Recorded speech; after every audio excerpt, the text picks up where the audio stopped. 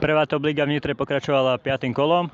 Zápas medzi McDonald's Nitra a Sandosom sa skončil 7-4, prospech McDonald's Nitra. Pri mikrofóne hráča McDonald's Nitra, Tomáša Čierneho. Tomáš, ako hodnotí zápas? A, zápas bol slabý, nedarilo sa nám, ale spokojní sme aspoň, že sme vyhrali 7-4. Strašne veľa šancí sme mali, čo sme nepremenili. Obraná katastrofa. Dúfam, že do ďalšieho zápasu sa to zlepší. Ďakujem. Vyzerá to na súboj o prvé miesto medzi vami a realistami. Budete v takýchto super výkonoch pokračovať ďalej?